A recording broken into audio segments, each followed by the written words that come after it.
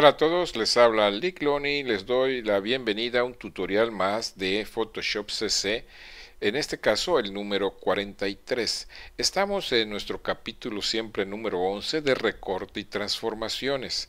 Este tutorial va a tardar un poquito porque son varias las cosas que quiero mostrarles acá. En este punto o en este tema vamos a ver la transformación escalando y la transformación libre y todo lo que tenemos que hacer para lograr esto. Vamos a, suponer que yo quiero trabajar en esta fotografía que ustedes están viendo en una parte o, quiero nada más eh, modificar algo de, este, de esta perspectiva de mi foto. No lo puedo hacer eh, normalmente porque si yo me voy a edición, eh, vemos que no puedo manejar ni transformación libre, ni transformar, ni deformación de posición libre. ¿Por qué? Porque es un fondo y tiene un candado. Lo primero que tengo que hacer es, crear una copia. Hay varias maneras de crear una copia. Una es con el, eh, los comandos control eh, de, por Windows, control más J. Y en el caso de Mac, comando más J. O pueden ir aquí donde dice capa. Y donde dice nueva, pueden poner nueva capa o capa a partir de fondo. Comando J o control J. Entonces lo apretamos y ahí está nuestra capa. Y esta capa, si me permite, fíjense ustedes, ir a edición y ya se enciende todo lo que está acá, escala según el contenido de formación de posición libre y transformación libre. En este caso, vamos a trabajar primero transformación libre. Entonces, en transformación libre le hacemos clic y fíjense cómo nos aparecen unos puntos en cada esquina, igual en medio, y nos permite tomar una punta, estoy agarrando la de abajo, del lado derecho, y hacer nuestra fotografía como nosotros querramos, pero no eh, estamos llevando el aspecto que nosotros queremos. ¿Cómo que eh, podemos hacer para que esto sea, eh, el aspecto sea proporcional? En este caso vamos a apretar la tecla Shift y fíjense lo que pasa. Inmediatamente ya puedo hacerlo de perfectamente, el aspecto se hará como yo decida. Eh, pero si yo quiero, no quiero de que se abra desde un costado y apretara yo, apretando las letras Shift, la tecla Option en Mac, la tecla eh, Alt en Windows, fíjense cómo podría yo manejarla ya desde el centro. Lo voy a apretar y se va al centro. Y en esta forma yo ya podría manejarla solo en el centro. Supongamos que este es el tamaño que yo quiero, pero yo quiero hacer otras cosas con esto. Quiero rotarlo, quiero cambiarlo. Entonces me voy otra vez a edición, me voy a transformar y acá ya puedo manejar cualquiera de estas. Y en este caso voy a poner rotar. Entonces le señalo el rotar y fíjense que saliendo, fíjense de mi icono o mi puntero, que saliéndome de esto eh, yo puedo girar donde yo quiera mi fotografía y se rotará desde el centro. Si yo quisiera, fíjense ustedes, eh, rotarla desde otro punto que no sea del centro, voy a ponerla, voy a poner undo, undo, este, voy a poner regresar en el tiempo y este centro que está aquí, esta crucecita, ojalá logren verla, si yo la pasara a una punta, por ejemplo, o donde yo quisiera, y yo quisiera nuevamente rotar mi fotografía, fíjense cómo rotaría. Rotaría desde el punto que yo le ponga. Y esas son eh, información que yo les doy. Voy a regresar en el tiempo nuevamente. Esa información que yo les doy es porque en tutoriales anteriores no tocábamos estos puntos que son muy importantes y cada vez que yo hago un tutorial o un curso busco eh, eh, temas nuevos que ustedes no hayan visto. Entonces, eh, para regresar este punto al centro, fíjense que acá hay un cuadrito en esta parte. Le puedo poner en el centro, señalar el centro y, y ya girará nuevamente en el centro. Lo puedo, eh, voy a poner, regresar en el tiempo, lo puedo dejar así, puedo manejar otra punta, por ejemplo, y fíjense cómo puedo manejar mi fotografía. O puedo regresar apretando aquí el cuadrito en el centro y quedará nuevamente en el centro mi fotografía. Podemos eh, probar otra transformación para que ustedes estén enterados. Me voy nuevamente a edición, transformar y vamos a poner sesgar. Y voy a agarrarla aquí en el centro. Fíjense qué puedo hacer. La puedo hacer hacia un lado o la puedo hacer hacia el otro lado. Voy a regresar también en el tiempo. Vamos a checar otra. Edición, transformar. Vámonos entonces ya a distorsionar. Y fíjense, voy a agarrar esta punta y fíjense lo que haría mi fotografía. Miren. Para lo que todo lo que ustedes quisieran hacer. Es increíble cómo podemos manejar nuestra foto. Voy a regresar en el tiempo. Ahora vamos a checar otra, que es la de perspectiva. La de perspectiva la voy a tomarte aquí y voy a hacer que se vea un poco hacia acá. Y digamos que esto más o menos es lo que yo quiero. ¿Qué haría yo después? Manejaría yo la escala.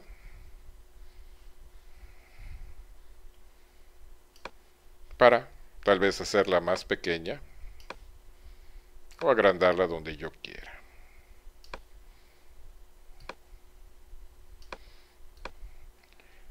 Y una vez que yo ya tengo así mi fotografía, podemos hacer dos cosas. Aplicar eh, la tecla Enter o return según el caso, enter para Windows, return para Mac o apretar esta palomita que está aquí y se quedaría fijamente ya esta fotografía. Pero eh, el objetivo de este curso, de este tema, es que yo quiero mostrarles lo que podemos hacer con esto. Eh, yo quiero eh, ponerle otras cosas a esta fotografía, quiero crear algo. y me gustaría que el fondo que tiene eh, la fotografía, que es la misma, quisiera yo señalarla y la señalo y manejar eh, lo que es la opacidad, pero fíjese que no me lo permite. No me permite la opacidad. ¿Por qué no me permite la opacidad? Porque la, el fondo se encuentra eh, con candado y, y, por eso no podemos manejar esa, esa situación. ¿Qué podemos hacer? La señalamos, nos vamos entonces a capa y vamos a poner en lugar de nueva, vamos a poner ahora sí capa a partir de fondo. Nos saca esto, nos pone como capa 0, le damos clic y ya tenemos aquí ya no como fondo, fíjese del lado derecho, sino como capa, capa 0 y arriba tenemos capa 1. Entonces, eh, señalada la capa 0 que era antes nuestro fondo, ya puede usar la opacidad. Pero usar la opacidad, de acuerdo a cómo está mi trabajo, mi, como tengo yo mi Photoshop y como viene por defecto, me salen estos cuadritos que no me, no me gustan, no, no, no, no, no me agrada que, que, el fondo de lo que estoy tratando de hacer tenga cuadritos o, o triangulitos o eh, la figura que ustedes ven en gris y blanco. ¿Cómo podemos quitar esto? Muy sencillo. Nos vamos en el caso de Mac, en Photoshop, en el caso de Windows, creo que es edición. Buscamos preferencias y nos vamos a ir ahora a lo que es transparencia y gama. En transparencia y gama le damos clic y acá donde dice tamaño de cuadrícula, que dice mediano, por eso nos da del lado derecho este ejemplo, lo vamos a poner en ninguno. Y fíjese cómo va a cambiar el fondo. Ahí está. Le pongo OK y fíjese ya tengo un fondo mucho mejor para hacer alguna composición que yo quiero hacer. En este punto yo ya me iría a ponerle algún efecto. Entonces señalo ahora la capa, me voy a efectos y busco sombra paralela, que ya lo habíamos visto. Le damos clic y fíjense, eh, vamos a tratar, como a mí me interesa nada más esta parte, por eso lo pongo aquí y para que ustedes puedan verlo. En este caso, eh, lo voy a poner, eh, le voy a poner distancia. Está saliendo, si se fijan. Extensión y tamaño. Y para que ustedes lo vean, lo voy a sacar un poco más. Ahí está. Y acuérdense, podemos eh, moverlo con este eh, ángulo que está aquí en la ventana o podemos ponerlo en nuestro trabajo que ya se vuelve una herramienta de movimiento el icono y moverlo como nosotros queremos. En este caso lo voy a poner por acá pero para que se vea mejor, entonces sí, ya le buscaría la distancia.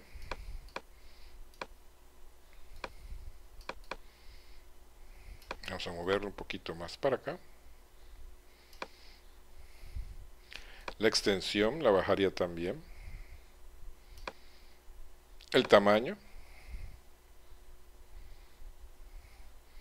Lo pondría no, no que se señale mucho porque entonces se va a perder lo que quiero hacer. Le seguiría yo moviendo. Ahí está. Ya tendría una especie de sombra. Como dice el control, eh, paralela.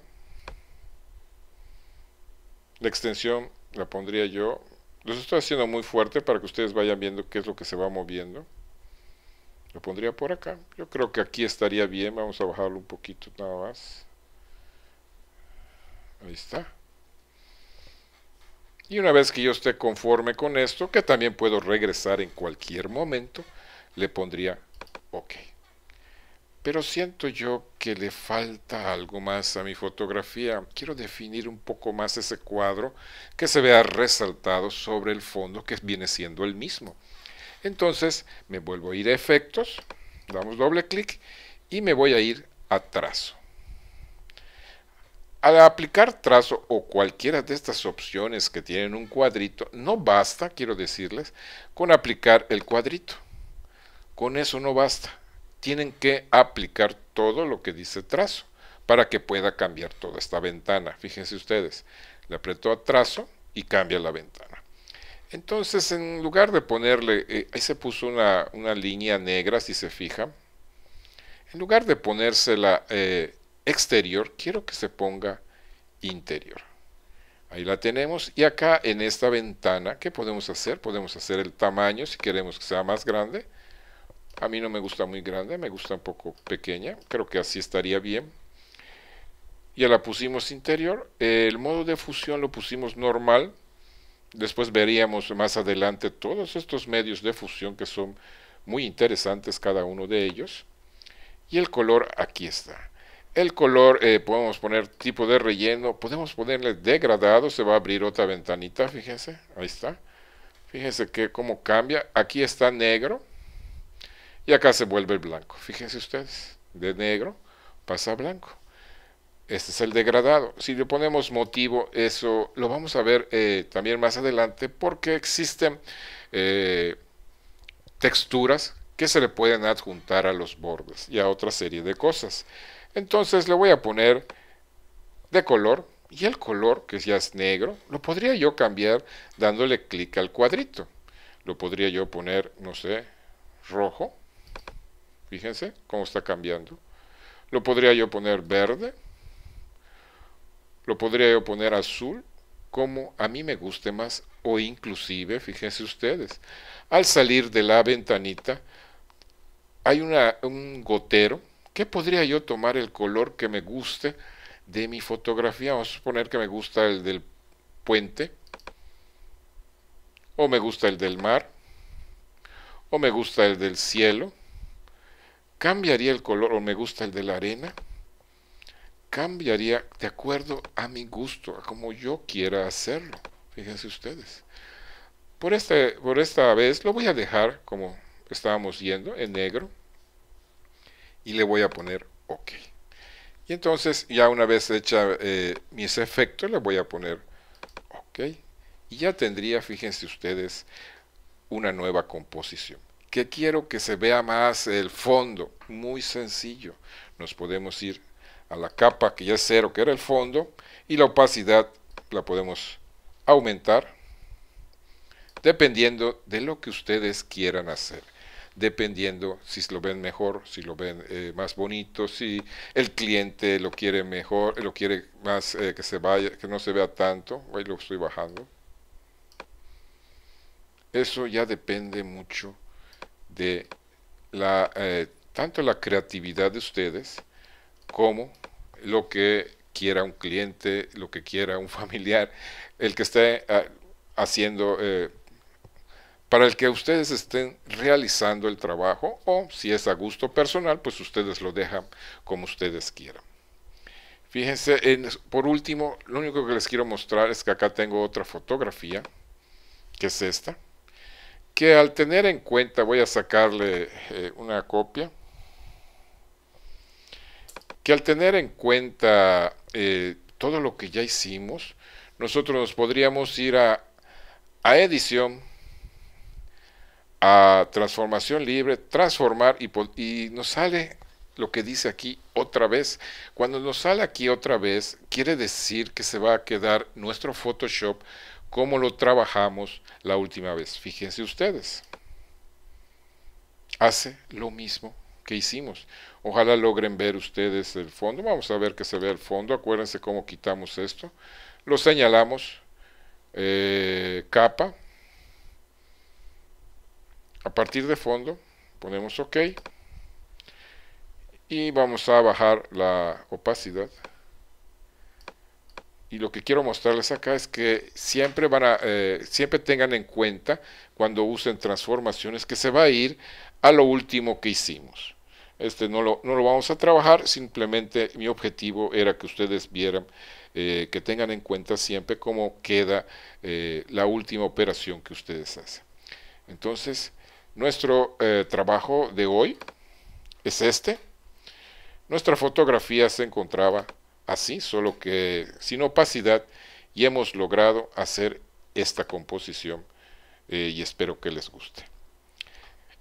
Con este tutorial terminamos nuestro tutorial número 43. Eh, espero que les haya gustado. Si les gustó, regálenme un me gusta y les espero próximamente en nuestro tutorial número 44 para todos ustedes. Muchas gracias a todos por su atención. Hasta luego.